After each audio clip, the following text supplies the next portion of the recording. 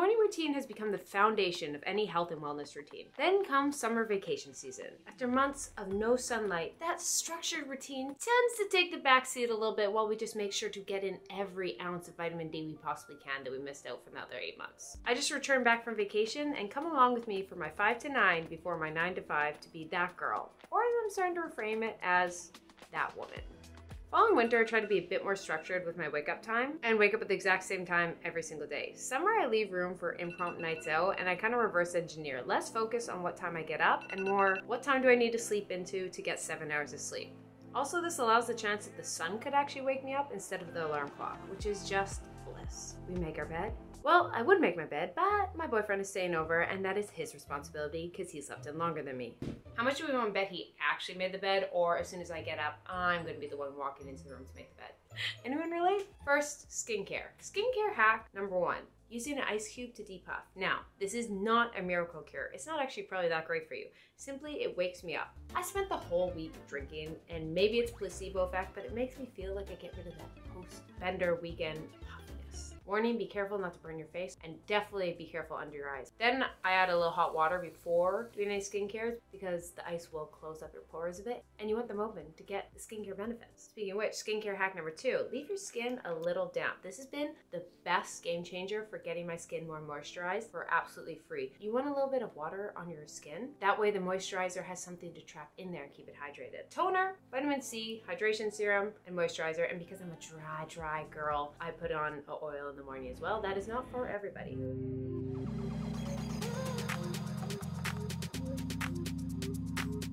Onto my body skincare. Skincare hack number three, a body retinol. I've been starting to treat my body skin like my face, so that includes using a retinol to improve the texture, redness, and prevent wrinkles forming. But warning, if you're putting that on night, that means you definitely need a sunscreen in the day. I'm currently loving the Necessaire, but I ran out of it because it's a mineral sunscreen and that's just my personal preference. I have a bit more of a complicated body skincare routine at night, but in the morning, it's just a moisturizer and sunscreen.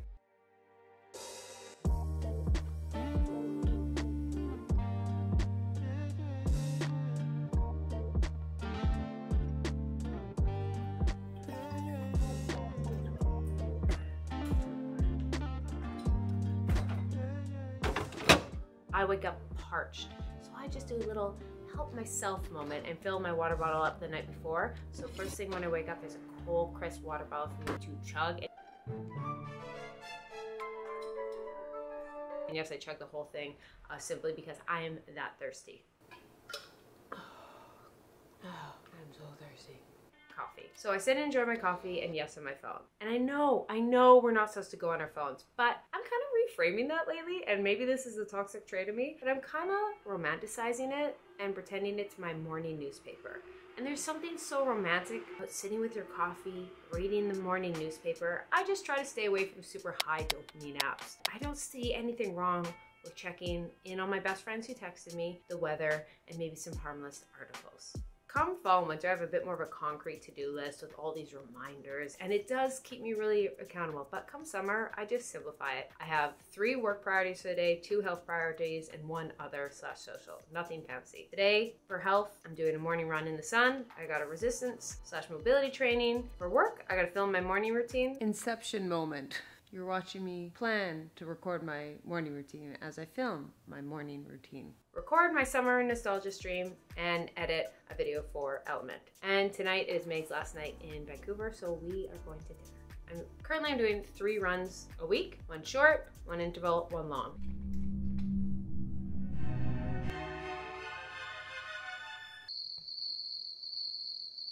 One of my favorite parts of summer is no sun guilt.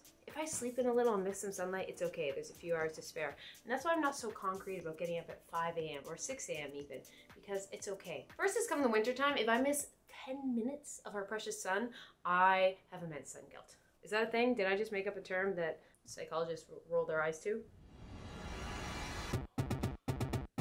How fast do I look?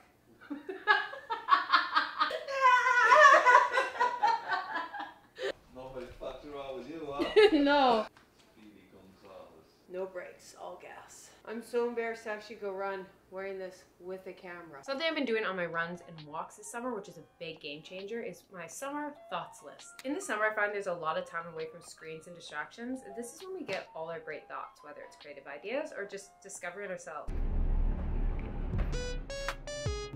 I'm low key so embarrassed to go in public going like it's like I don't think I'm fast enough. Everyone on Pinterest looks so cool. And I look like a robot. Kind of vibey? I don't know. I'm regretting a lot of my decisions right now. I went way to the deep end. I have a note in my phone that I just dump all things into throughout the day. There's no pressure on spelling or have it even make any sense. Then at the end of the day, I sit through it and journal the most important things. And I find that's a really great way to just like allow a little self exploration while we're in a less structured routine that naturally has this serendipity moments of discovery. Now, I want to talk about the concept of that girl versus that woman. Something over the last year has felt really weird about saying that girl. Like, I feel I'm too old to say that girl. I'm not to judge it because who's that girl? Is it for 14 year olds? Is it for 21? Is it for 35? I don't know. But for me, I've been refraining to things as that woman because I can't think of anything else trendier to say. But the biggest difference for me between that girl versus that woman is in the act of comparison. That woman is about prioritizing the things that will add to your life versus the ego boosting things, the things you do because it looks like you're being healthy or productive versus things that actually add to your life. One example, I found I could barely have art in my apartment in my early 20s because it ruined that, that girl aesthetic. Reality is, yes, I do love a minimal aesthetic, but I'm quirky. I like some pop art moment. And sometimes art is raw and not matching. And being in an apartment full of things like that brings me joy. And I think that's an example of yes, is it a little bit more cluttered? But that's okay. It adds to my quality of life and it makes my home a sanctuary.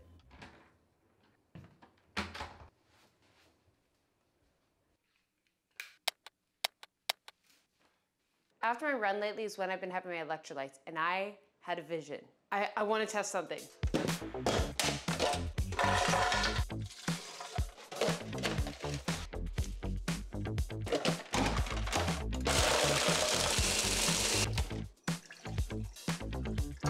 Let's give this bad boy a go. Electrolyte Slurpee. Yep, tricep. How good is that? Mm-hmm. That's fun. But fun fact about electrolytes, I brought a whole bunch to the Calgary Stampede this weekend when I went with my best friends, and I gave them all element packets to drink every morning. And these are the exact text messages. They all woke up feeling not hungover, and they're not spring chickens anymore. We're not 21. You all know I'm obsessed with electrolytes, and big reason is I'd wake up, and especially in the summertime, if I was really active, with these cramps in my calves, and they were so painful. And I realized I wasn't having enough salt. And as soon as I started including electrolytes into my diet, game changer. Why I love Element specifically and I'm so hyped about it is its scientific formula. It's got the 1000 milligrams of sodium, 200 milligrams of potassium, and the 60 milligrams of magnesium. Unlike other electrolyte mixes, it doesn't have any BS. There's no added dyes or sugars or anything. You're just getting electrolytes with a delicious flavor.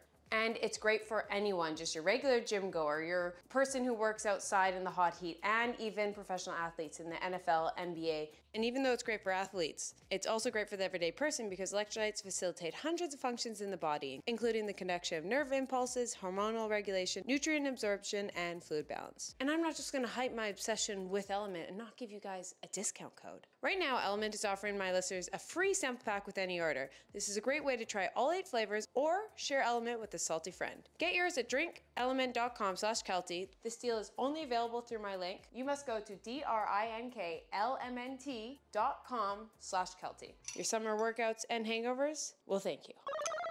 Salt, lime, slush. It's practically a margarita. 7 a.m. margarita, baby.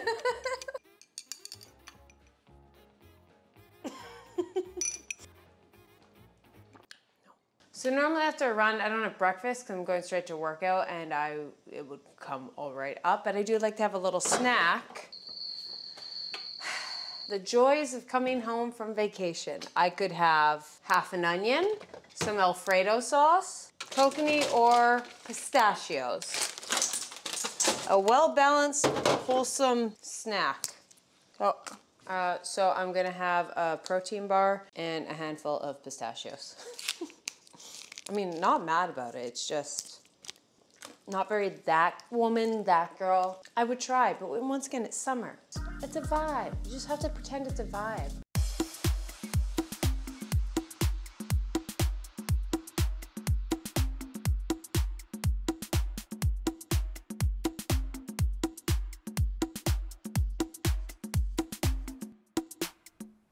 Today's workout is mobility. Pure confession. At first I thought I was gonna do a Pilates class for this video because it screams that girl. Like the aesthetic would be unmatched. It would look so pretty for you guys.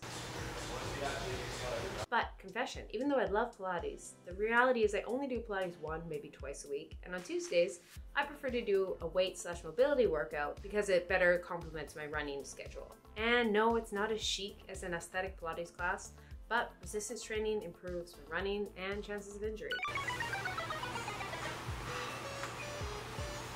Speaking of that, I'm also not that rigid about my weekly workouts come summer. I just try and get a few resistance trainings, maybe one to three. It may be weights, it may be Pilates, and a few runs as that's my current training goals. For a lot of people starting out, maybe two resistance, three runs, or three runs, two resistance is all you need, or even less. But for me, three and three is kind of my goal. But in the summer, I love the flexibility of swapping a run with a bike ride, swapping Pilates with yoga at the beach, swimming in the ocean, and let's focus on working out and more on moving my body. And I think that's my biggest reason for not ever really getting burnt out from fitness is I just go through seasons. Some seasons I'm really go with the flow and just falling in love with movement. And then I kind of get bored and I want to be more committed and be really routine based. And I'll book a race and I'll train for it.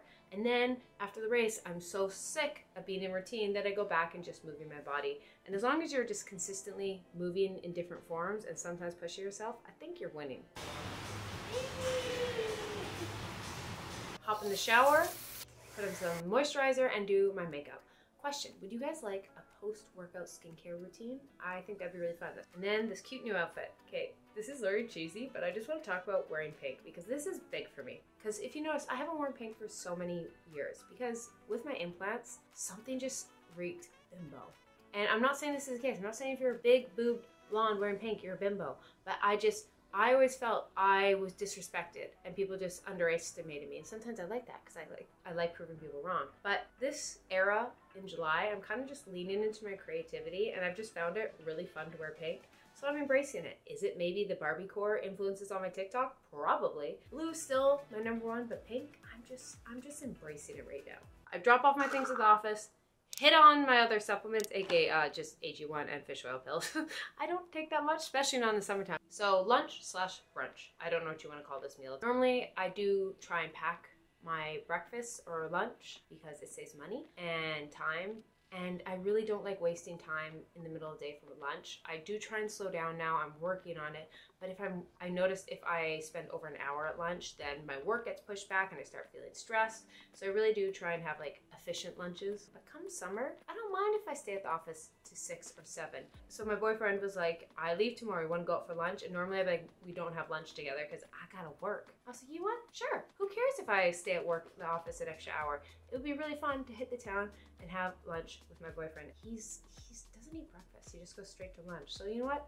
Normally I like breakfast food, but today I'm just going with it. We're having lunch for breakfast. And just like that, I'm back at the studio. Oh my God, it feels so good to be back. I've been gone for months. Usually I would get into the office at nine, I got in at 10. The nice thing about summer is I feel I'm just not as strict and I realize it's a blessing. Usually a lot more structured, like I get in at nine, I leave at five. And that's kind of my goal with routines in the summer because I think it's less of routines and just a bit more of like staying accountable to the things that make me enjoy my day to day and easing into like flow and creativity and spontaneity that is so beautiful around summertime. Especially Monday, Friday, there's still a few things that like I like to check off the list. My skincare, morning coffee, movement outside in sunlight, either stretch, strengthen, or get a good sweat in. Electrolytes, I only do really two other supplements, and then just make a little short to-do list of work priorities, maybe just two or three. I used to feel guilty of like, oh, you should be productive year round, but I've noticed if I really ease into that creativity, less structured routine in the summertime, come fall, I'm craving routine. I'm craving structure. Versus I'm not craving it right now, so I'm not gonna like force it. All my ideas come in this time, and you almost have to allow spontaneity